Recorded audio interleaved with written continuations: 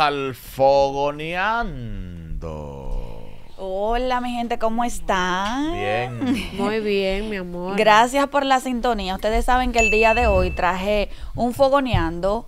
Eh, bueno, no estamos tan calientes el día de hoy, pero vamos a calentar un poco la pista. Dime. Y ustedes saben que hoy quería hablar un poquito de todo lo que está sucediendo en todas las redes sociales y en toda la farándula durante todo el año 2023.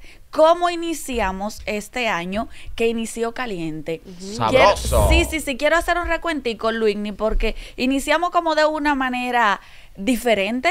Ajá. El año, el año empezó como caliente. ¿En qué Siempre el año empieza como bajo perfil. Sí. Empezamos como en calma. Y cuando el año va como por la mitad, por ahí, de febrero en adelante. Es que se calienta. A partir del 14 de febrero es que empiezan como los bochinches, ¿no? Pero este año, iniciando, empezamos en alta. Estamos desde enero en alta. Y empezamos en Yo creo- automático. Yo creo fue con que terminamos en alta y en comenzamos en, alta. comenzamos Porque en Bad Bunny. alta. Abrió Bad Bunny. No, el cerro y abrió, porque fue como el Sí, 31 al día primero. Sí, cerró y abrió Bad Bunny con la muchacha, con el teléfono, el zumbón del teléfono que no se supo nunca nada. El iPhone volador. Sí, Bad Bunny no habló, la muchacha no, no habló, habló, no el bochinche se calmó, no se supo lo que pasó con Bad Bunny. La muchacha, claro que sabemos que es una muchacha rica, millonaria, porque si hubiese sido una guau guau guau, una La muchacha de otra.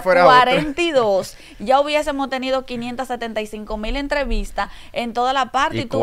Y tuviéramos una nueva, y, y tuviéramos una nueva influencer, tuviéramos una nueva influencer, no sabemos en qué paró, pero creo que ya el caso se enfrió. Y por ende, no creo que ya sepamos quién es la muchacha. ya no. Pase No, nada. creo que ya no. Si no dijo al principio, tuvo la primera dos semanas y no, eso se quedó ahí mismo. Lo último que supe de Bad Bunny fue que dijo, hizo un tweet como que lo íbamos a extrañar. Ajá. No Ah, el perfil de Twitter puso eso. Y ayer, Sí. que yo no sé cómo que mucha gente se da cuenta, de que puso un ojito en una de las canciones de En 2016. YouTube. Él En puso un ojito y ahí que es una Y noticia. di que ya, y eso está Toda la página. Bad Bunny escribe un comentario en su canción. Digo, señores, él también subió la publicación de que va tan co- en Coachella. Hay que ver qué dice y la di que canción y si soy una peor, señal. soy peor. Fue, creo que Sí. fue la Soy canción, peor, soy sí. peor. Y di que un ojito internacionalmente, porque Promo, los internacionales también no han estado dando comida. Y ahí entra Shakira.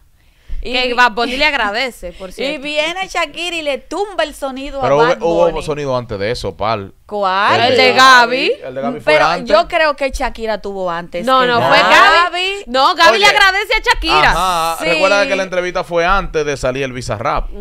Sí, entonces tenemos aquí a Gaby, porque la tengo por aquí. Que Ah, pero tú Gaby, la en el orden. Exacto, no la tengo en, en el orden cronológico. Tú sabes que también tengo a Gaby por aquí. Entra Gaby, ¿Dónde? entonces. ¿Entre? Eso es lo que tú quieres que entre. No, eso es lo que tú quieres.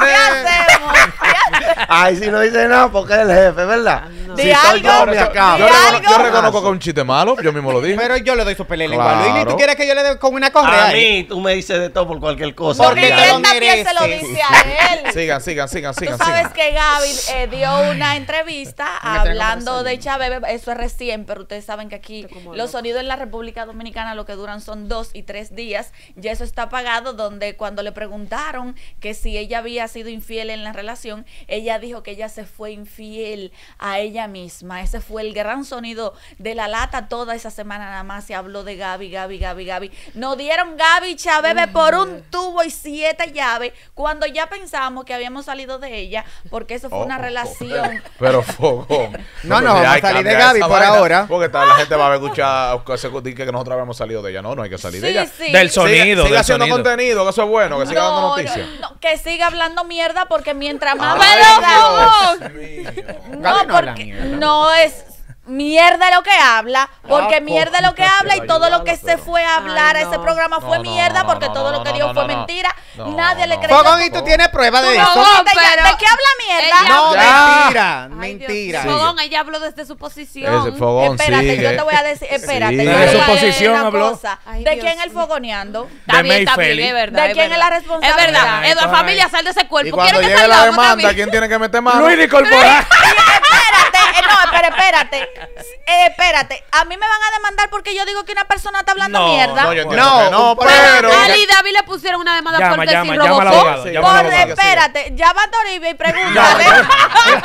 Llámalo tú, tú eres amiga de él, llámalo. No, no, Ah. espérate. él es tu No, no, abogado. Yo puedo llamar a Toribio para entonces yo me echo para atrás y digo perdón porque dije que Gaby está Pero no es por el tema de demanda, sino que mucha gente lo, lo va a escuchar feo. Es que tú dijiste mierda, yo te estoy corrigiendo que eh, tú dijiste que ella dijo mentiras y yo te dije a ti, No, tú tienes es pruebas. tu opinión, pero la gente lo va a ver mal. Al final No, tú puedes decir que tú ella hable lo que tú entiendas. Porque al final No, tú porque eres yo, que... yo ¿Qué pasa? Fogón, No te ya sigue, no Está bien, Ay. dale. Dale, Dale, vez que No. ya dice ay, vienen ustedes que no es no, así. no, no. Con eh, miedo, ¿por qué el miedo que tiene? Está lambiendo mucho tú. a No, no me gusta. Sigue, Fogón. Yo la corrijo cuando tengo No, que eso es lo que pasa, que aquí a todos le quieren pasar paño tibio y yo tengo que hablar lo que el otro quiere. Vamos a hablar de la ternurita. ¿Quién? Ahí. Ternurita. ¿De qué vamos a hablar ahora? Vamos a hablar de ternurita Chucky. No, dale, déjala chévere. No, no, a Chucky dale duro. Ah, Shakira, sí, ¿verdad? Shakirita prendió las redes sociales con Piqué porque ella dio una lloradita. Ay, la voz se parece a Chedi. No, a Gaby. Ah. Ah, porque Ay. tú sigues con Gaby. Vamos, Viviendo.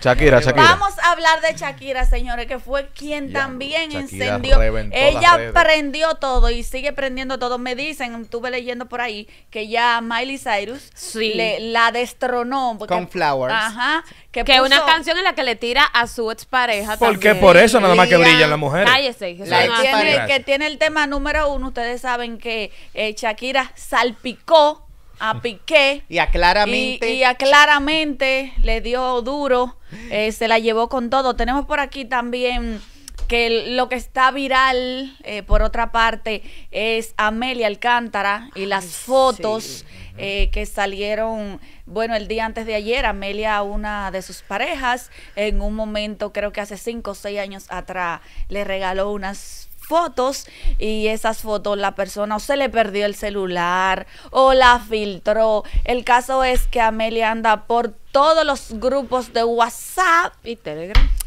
como una yuca que a nadie le importa porque Amelia es Amelia y no estamos viendo de que nada nuevo. Si tú me dices que una foto de Nayoni, que nadie la está esperando, una foto de Carolyn Aquino, pero todo el mundo sabe que son cosas de Amelia y que Amelia siempre va a ser Amelia. Otro de los bochinches que también tenemos ahora en el mes de enero es Alofoque eh, y Bomberas que Ivonne dijo que era una aberración que a lo foque sea comparado con Freddy Veras Goico. Él mismo fue que se comparó, Sí, no fue que, se- que lo comparan. Sí. Fue el mismo que dijo que él es Freddy Veragoy. Sí, tú sabes que él lo corroboró eh, para el programa del cual laboro.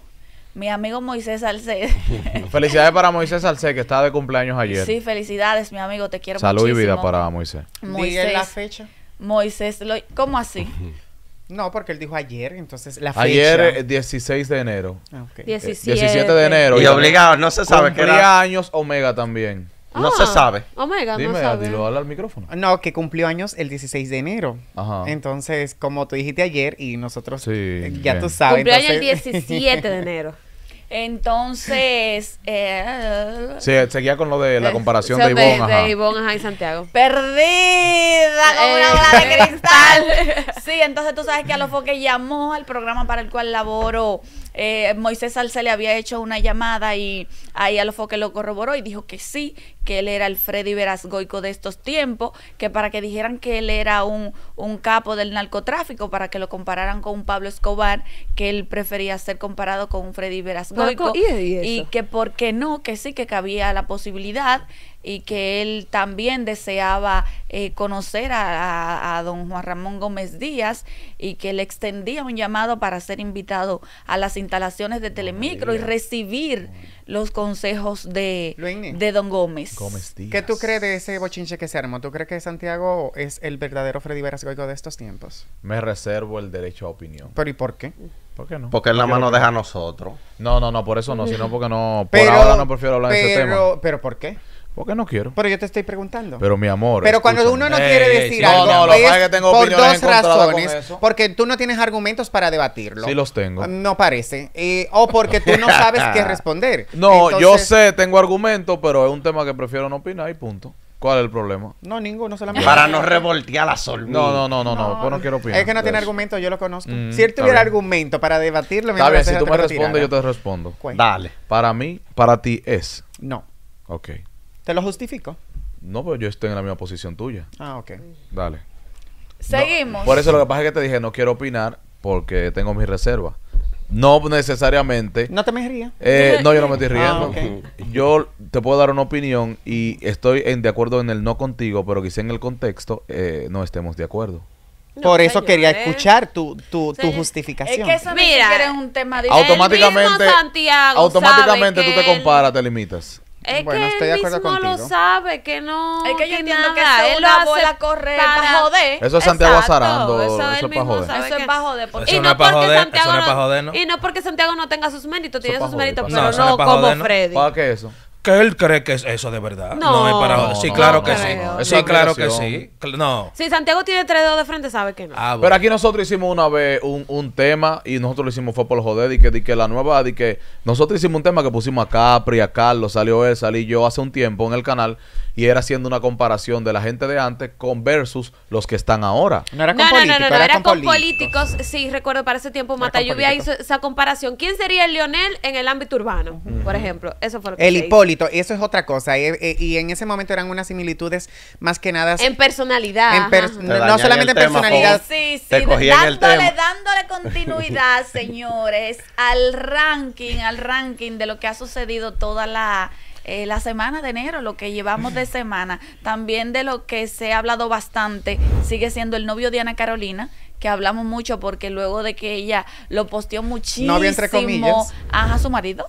Entre Su marido, comillas, yo lo pongo entre comillas. o el Que dijo o- que lo hace mejor que músico. Ajá, ella dijo eso. ¿Di qué? Bueno, esa parte no la vi. Sí, Pero lo que se habló sí fue desde que empezó enero, fue que después que ella lo publicó en todas partes, eliminaron todas las fotos. Anda un corte por ahí de que, que dijo Sí, eso. sí, eso fue muy comentado también. Y, y lo que está sonando desde ayer, volvió la amiga de ustedes, tu amiga íntima, eh, Richard. Mira, a mí. Sí, tu cuál- hermana. Volvió, volvió al ataque tu, her- Tu hermana. hermana, mami Jordan. Ay, ay, ay. Volvió Mira, al ataque. espérate, espérate, mi amor. Ni en esta vida, ni en la pasada, ni en la reencarnación, ni en la que viene. No, Jamás. No hable así, que mira cómo están ustedes dos ahora de íntimos. No, no, pero, Pero no, nunca fuimos no, así. Se te quedó, nunca. se te quedó Ángel Diola ahora también. No, no, no, no, no, porque ya eso empezó, Empezó hoy. ayer, eso ya. fue el ¿Qué día, hizo? ¿Qué el hizo? día de ¿Qué ayer. hizo? Tú sabes que Mami Jordan Mami ayer Jordan. hizo unas publicaciones que, por cierto, la borró, no sé por qué. Porque ya te la tenían toda la página. Porque tira la piedra y escóndela. Sí, ella publicó que ella se enteró y sus abogados, junto a sus abogados, le habían comentado que había sido Tóxico quien había pagado para que ella se mantuviera presa. Para que la dejaran presa. Sí, Ella y- puso Toxi Baba. ¿no sí, es? Toxibaba. Luego dijo que. Ay, es que la palabra No la suena fea. No la sí, diga, se no. refirió despectivamente a la esposa de Toxicro Sí, no, no. y compañía. Todavía, y, ella y sigue en y eso. retaba a Toxicro a desmentirla. Señores, yo creo que esa muchacha sigue en sonido. Sí, pero me. Ella lo que se está buscando un Sí, caso. Sí, pero Otro sigue, más. sigue en sonido, pero él nunca ha salido a hablar de eso. Ni va a Me hablar. explico. Escuchen a los oyentes que nos escuchan por Pablo y que nos están viendo en el canal de YouTube. Power 103.7. Es extraño de que nuestro amigo Toxic Crow le responda a cualquier persona y le haga un live de 15 o 20 minutos respondiéndole. A cualquier persona. Toxic Crow le ha respondido a periodistas, a urbanos, a seguidores, a influencers. Mami Jordan tiene más de un año dándole funda por diferentes cosas. Que han estado en la intimidad, que él tiene hijos fuera del matrimonio, que le han ofrecido hacer trío. Y ahora lo acu de que lo tiroteó también fue él que lo mandó. Y ahora supuestamente ella lo acusa de que fue él que la sometió a la justicia. Pero es Eh, simple. Sí.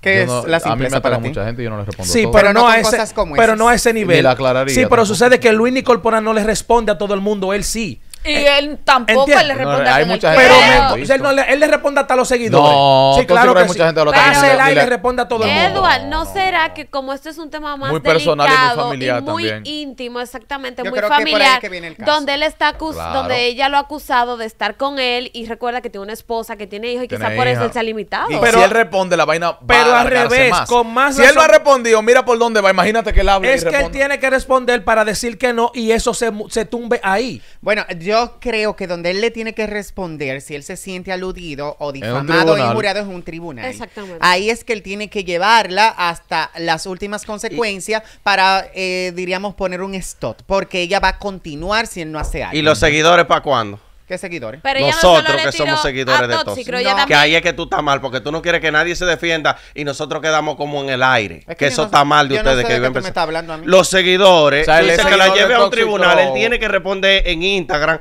que nosotros lo que seguimos sabe qué es lo que está pasando, si es mentira o si no es verdad. que Pero ustedes por- dicen que no, no hablen. Entonces él tiene seguidores de balde. Nosotros No, estamos los seguidores no están para eso. Los seguidores simple y llanamente están para seguir su música y para seguir su Y si vida pasa algo con el artista de uno. Eso es diferente, mi amor. Pero mientras tanto, los seguidores lo que le tiene que importar es la carrera de él, el disco que él lanzó, que ha sido un fracaso total, y su libro, que sí se vendió. Pero su vida personal no tiene que ser importante para No, seguidores. yo hice un comentario, pero ya lo tuyo es personal. No, No, no, no, para nada. Estoy es, haciendo lo, que- lo- que hay que ver cuando un artista abre puertas a su vida íntima y que yo sepa, Toxicro no lo ha hecho, que es muy diferente, por ejemplo, hacer una comparación con Gaby que ha hablado del tema de Chabebe, que ella abrió la dicen puerta. que a eso. Tóxico responde todo, pero... No, lo dice Ejemplo, Edward.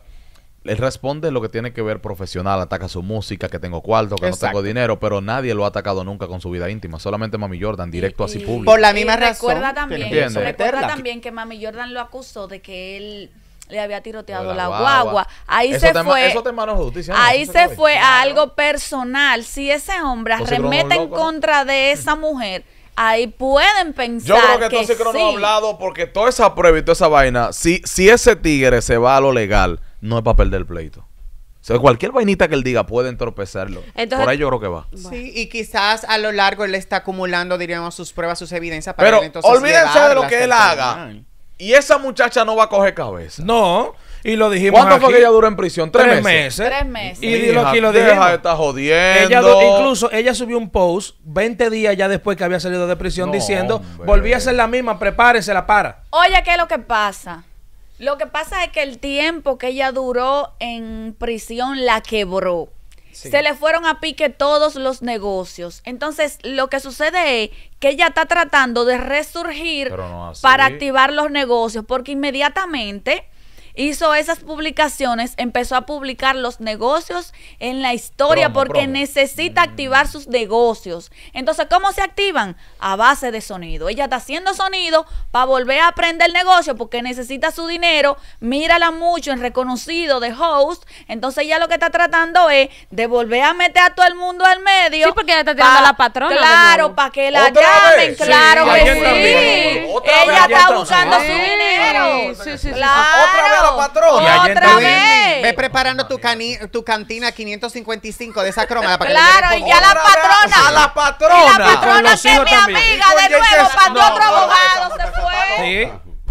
La cantina, la Sí. cantina esa que son cuatro. Yo pensaba. En la cromada que Fuera chelcha, yo 155. pensaba que esa tipa nunca iba a mencionar a esa mujer para nada. Que sí, mi amor. Pero la patrona estaba donde un abogado la semana pasada porque ella le dijo hueledora de nuevo. Donde Dios Ay, no Dios puso, mío. No no, puede haber. puede haber. Sí. Y que una cantina cromada, la que Mira, tiene la si con roja. esa vuelta que esa muchacha le hicieron, que le hicieron no, que ella se buscó, Ah, no Clara, cogió lindo. cabeza, la próxima va a ser muy letal.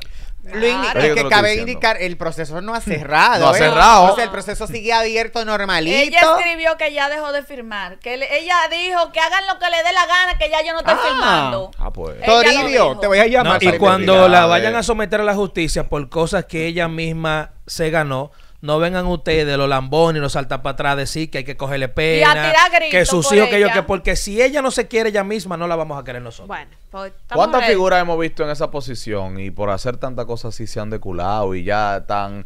Hay una muchacha que hace mucho se volvió viral y era como ella. Eh, ¿Recuerdan a la japonesa? Sí, claro. Sí, pero que la japonesa no era tan así. Recuerda que No, la era más medida, era más la medida. La japonesa hacía videos, pero no así. La No japonesa era tan- lo que se la llevó fue el caso de, De Emily. Sí, pero, pero te digo, tanto jode y tanto hacen vaina en redes que llega una vaina donde el pueblo te repudia de por vida y no te la vuelve a comprar. Dice que yo Nunca. cambié, que yo. Olvídate. Y Mami Jordan hablamos una vez. Al principio mucha gente la quería y en los últimos meses las mismas mujeres no quieren saber de Mami ¿Y tú Jordan. sabes quién No. tiene que tener mucho cuidado con eso? Honguito. Sí. Todavía la gente... Y a nadie le ha importado que está preso. No lo soltaron, No, ayer, ayer él No, estaba bonitico. Sí, Me gustó cómo se ve. Sí. Sí. No, pero volvieron, no, no, no le dieron libertad. No. Y, la- y he visto Porque comentarios hay- de que, que le den otra oportunidad. Hay una confusión, Luis.